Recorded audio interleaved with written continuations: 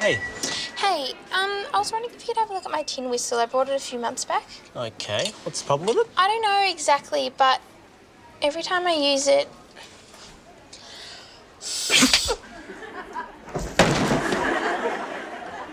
that happens. Okay, just give me one second.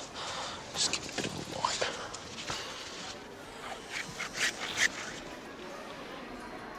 Try it now. Oh. Hmm, that's odd. Yeah, I showed it to my music teacher yesterday, What'd she say? and then she fell down. Fell down, yeah. Yeah, so what do you think I should do? It's hard to say. Just give me a go.